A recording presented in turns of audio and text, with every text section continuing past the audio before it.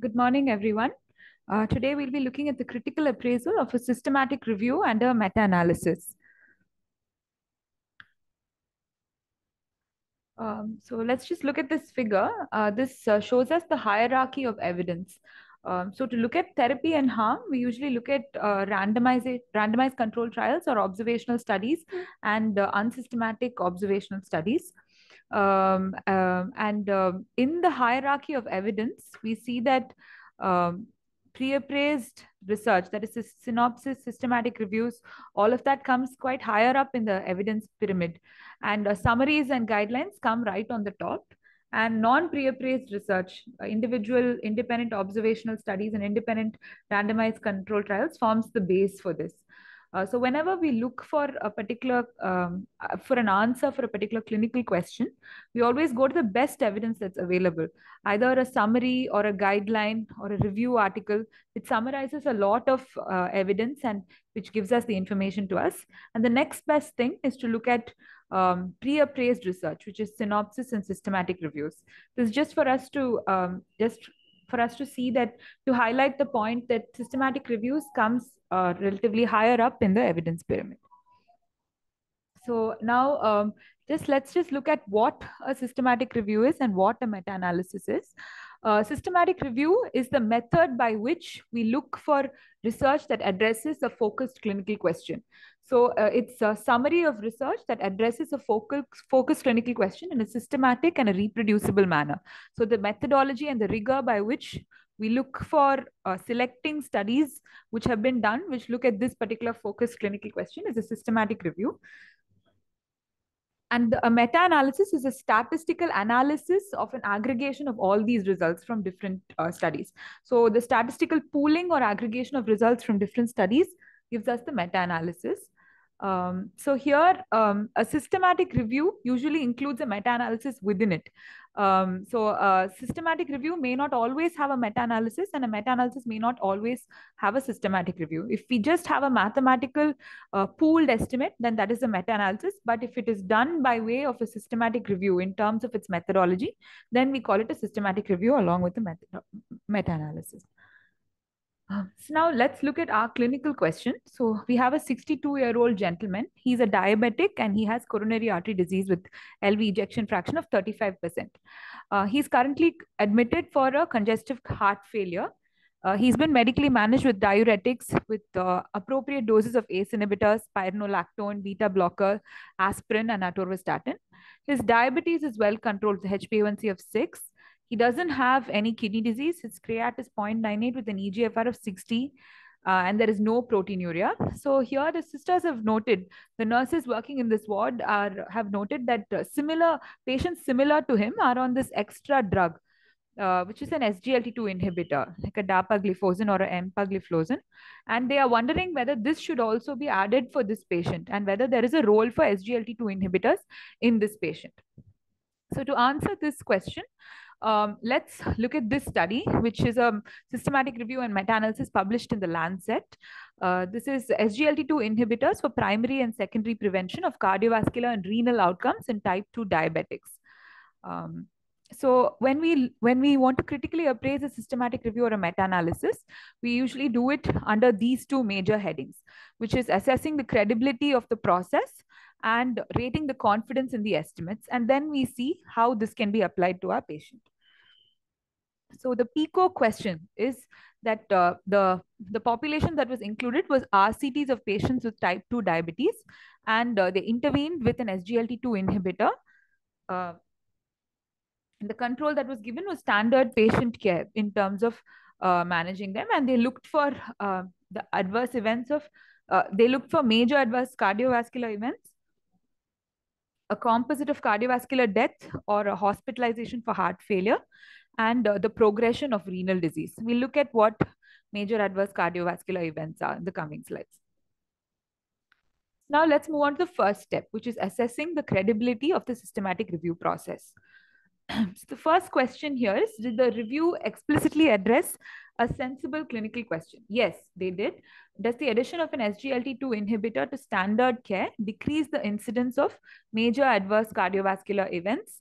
that is a death due to a cardiovascular event or a stroke or a, a myocardial infarction or cardiovascular death or hospitalized heart failure, uh, hospitalization due to heart failure, and progression in renal disease in patients with type 2 diabetes mellitus. So the population and the intervention and the outcome that they're looking for are all well defined here. So uh, these were the criteria for considering studies. They looked at all studies which were randomized and placebo-controlled cardiovascular outcome trials, which is because we are looking at a therapy and this is the best study design for this. And uh, uh, all studies which were published up till September 24, 2018, and uh, where follow-up was complete were included. And they looked at adults with type 2 diabetes and uh, all the trials which included SGLT2 inhibitors as its intervention. And um, again, as mentioned earlier, they looked for uh, MACE, uh, composite of cardiovascular death or hospitalization for heart failure, and progression of renal disease. So uh, the next question is, was the search for relevant studies exhaustive?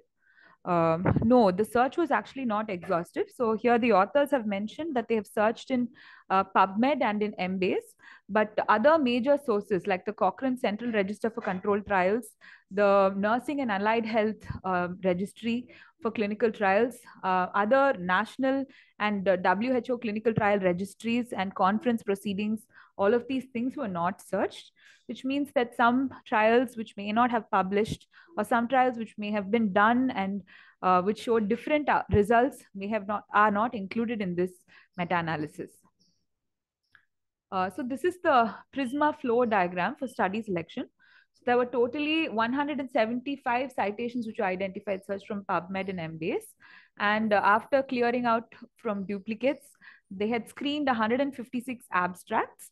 And uh, subsequently uh, they had excluded 147 of them because they did not fit uh, the the outcomes of interest or the population that they were interested in. And three unique trials were included in the uh, analysis and contributory secondary analysis was done with uh, six trials um, so when we look at each of the individual trials um, uh, we'll have to assess each of their risk of bias. So all these trials would, a full paper would have been screened and uh, they looked at the risk of bias for each of these. And this was assessed using the Cochrane tool for assessing risk of bias in randomized clinical trials. So all these independent variables like random sequence generation, allocation concealment, blinding of each of the uh, people, participants, the healthcare providers, the outcome assessors, um, and uh, um, uh, uh, and the reporting, all of this was looked at, and they found that the overall risk of bias among all three trials were, was very low. So all these three trials were very well done trials. And uh, did the review address possible explanations for between study differences in results? So only three trials were included. And when we look at the results, we will see that all these three trials kind of said the same thing. So the results were consistent between the three different trials. So the authors did not comment on any possible explanations for study differences. Looking at the baseline characteristics, the EMPA-REG outcome trial, the CANVAS program trial, and the DECLARE TIMI trial were the three major trials which were included. So here we see that they are all large trials. So there were 7,000 people that were recruited in the EMPA trial, 10,000 in the CANVAS trial, and 17,000 in the DECLARE TIMI trial. And they looked at the drugs which were empagliflozin, canagliflozin, and dapagliflozin, the doses given here. We see that majority of women, so there were 28%, 35%, and 37% of women in these trials, and the mean age was 63, similar to our uh, gentleman who's, uh, whom we had seen whom we are trying to answer this question for. And uh, we see that about 10%, 14%, and 10% of people had a history of heart failure. And uh, almost all of them in empagliflozin, in, all of them in empagliflozin had an established atherosclerotic cardiovascular disease. 65% um, and 40% had uh, established atherosclerotic cardiovascular disease in the CANVAS and the DECLARE TIMI trials. So the baseline characteristics seem to suit the patient who's at hand uh, well. Uh, did the review present results that are ready for clinical application? So normally we find that uh, clinicians, uh, as clinicians, um, when something is expressed to us in the form of a hazard ratio, we cannot immediately translate it into what its, its clinical meaning in our minds. However, it's it's easier if we are told uh, results as an absolute risk reduction or a number needed to treat. That is, if we if the number needed to treat, for example, was 10, we can uh, we can interpret that as if 10 people were treated, we could save one major adverse cardiovascular event or one um, uh, cardiovascular related death or a hospitalization for heart failure um, that is easier for us to understand and it's easier for us to explain to the patients as well and they are able to understand it. Similarly with absolute risk reduction when some when an intervention brings down an outcome from 20% to 10% then we know that there's an absolute risk reduction of 10% that's again easier to explain to the patient. Uh, but however, this was not done and the results were presented only as hazard ratios um, at the end of this meta-analysis. Another important thing is that they did not give us a summary of findings table. They had just given us independent results tables. Uh, was the selection and assessment of studies reproducible? Uh, two reviewers selected studies independently and they extracted data independently. And the discrepancies were resolved by consensus. There was no third party that uh, resolved the differences. The next part of the uh, uh, appraisal is rating confidence in the estimates, looking at the quality of evidence. So this is usually done uh, by the grade approach where we rate the quality of evidence um, and the confidence in the estimates. Um, and the rating, initial rating of confidence is higher for um, interventional studies or randomized trials and it's lower for observational studies.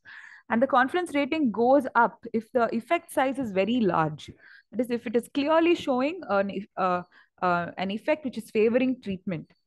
Uh, and the confidence rating goes down when any of these risk of bias, inconsistency, indirectness, imprecision, or if there is a publication bias which is present. A similar grade approach is also done for uh, risk of bias. And then uh, the quality the uh, quality of evidence the, or the confidence in the estimates is rated as low, moderate, or high. Um, so here the grade approach was not used. So they did not uh, in uh, they did not assess the risk of bias in the body of the evidence or the or they did not rate the confidence in the effect estimates. There's no mention of it. Um, are the results consistent across the studies? Um, there is uh, there's two ways of going about this. One is we can visually assess the results for variability and we can say uh, whether it is um, consistent across the studies or not. And there are other statistical tests. So now let's look at this example figure. So here uh, we see that uh, these dots, these are the point estimates. The effect estimates are the of each individual independent randomized control trial. And these lines which are going through it show us the confidence interval. Um, so here we look at four trials. We see that two of these trials favor treatment very well and two of these trials do not favor treatment. And here both the confidence intervals are not crossing the line of no difference because each of them are precisely saying that. And here, if you pool all these four trials, you get this effect estimate, which is again favoring treatment and the confidence interval is not crossing the line of no difference. But here we see that two, two trials are saying something and two trials are saying something completely different. So how do we believe these? so we can eyeball it and say, that these four trials are very heterogeneous. Similarly, if we, we can eyeball this and say that all these four studies are saying the same thing, that they are all favoring treatment, and all of these are also crossing the line of no difference.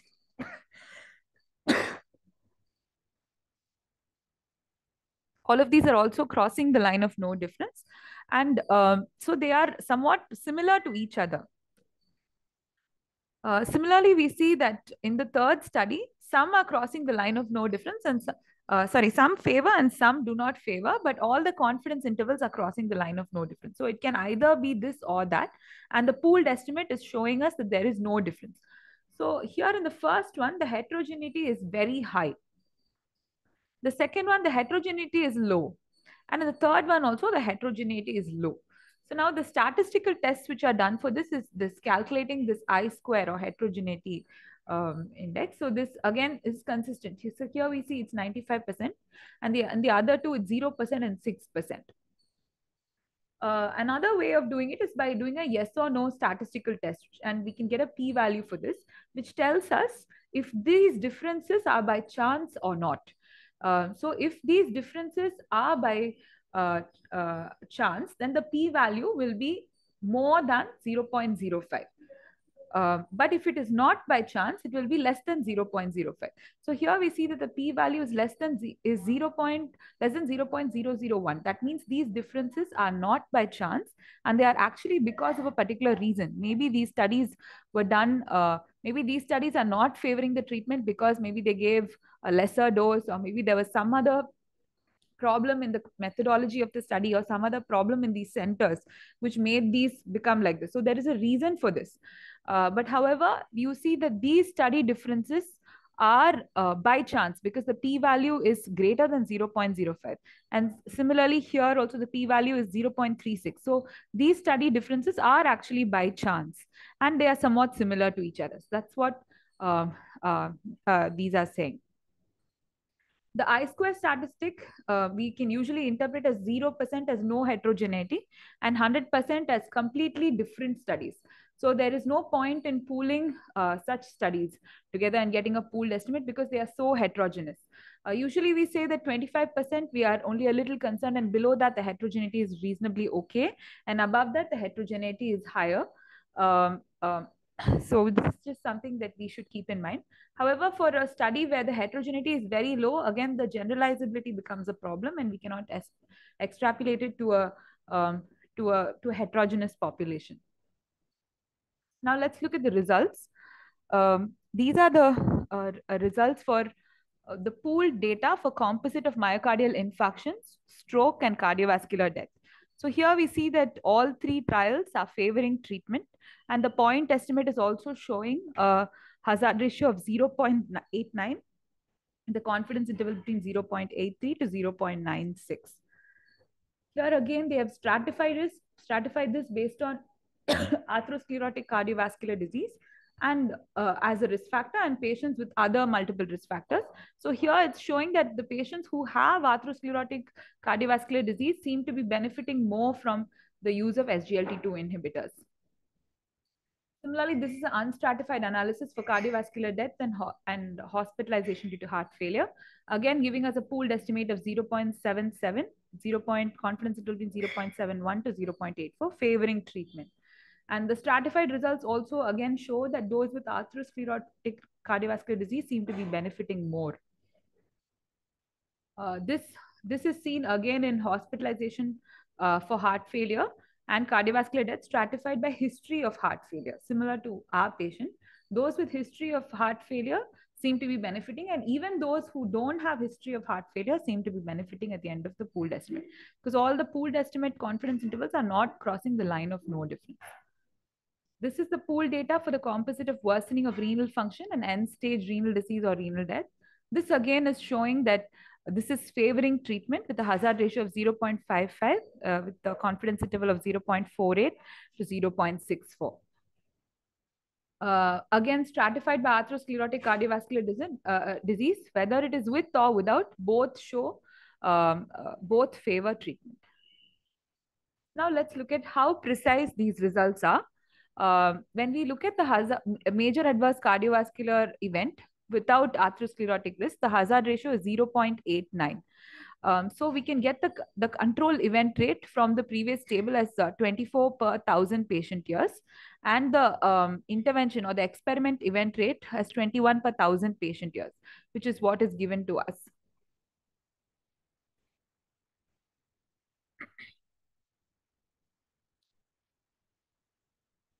Uh, we can uh, calculate the, um, uh, the absolute risk reduction as three fewer per thousand patient years.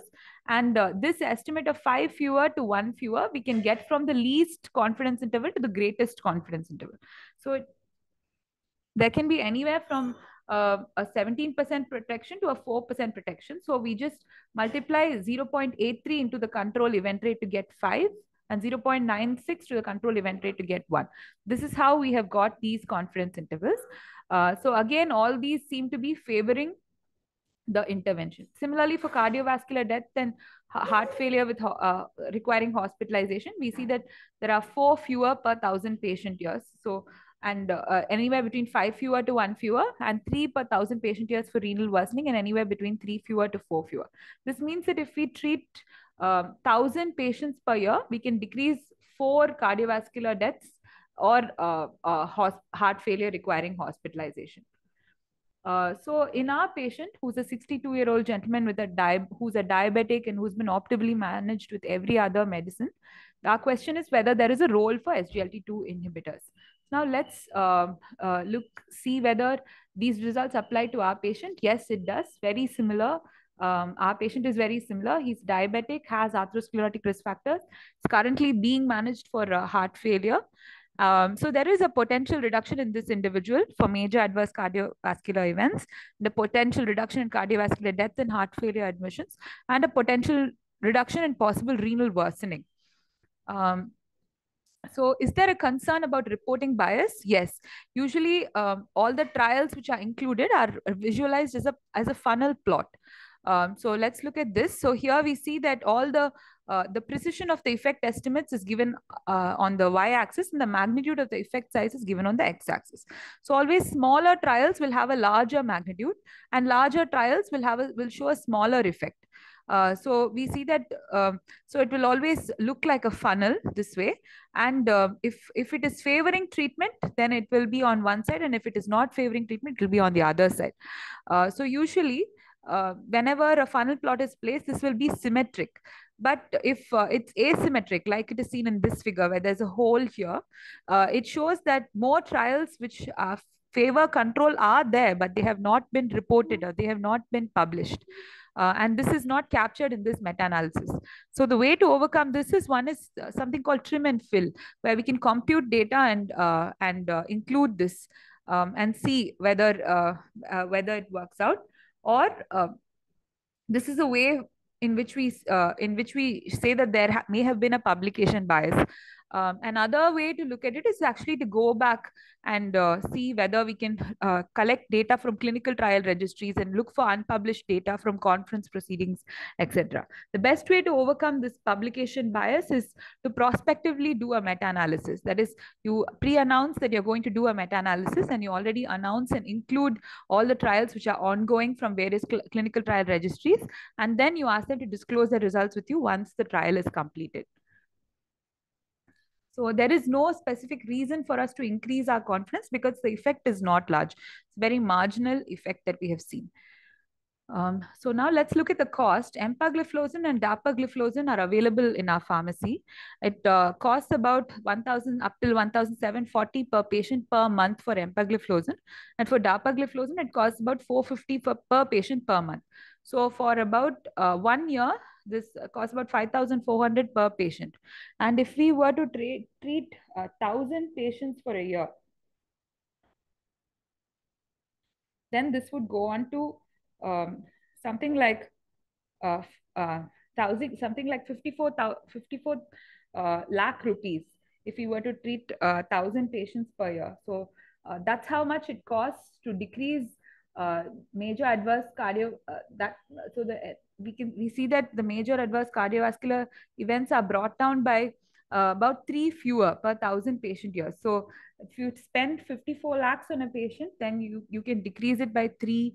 You can decrease uh, major adverse cardiovascular events by three. Um, so in summary, there are some concerns in the methodology. The search was not extensive. Uh, there may have been pos possible reporting bias and the authors did not comment on their confidence in the effect estimate.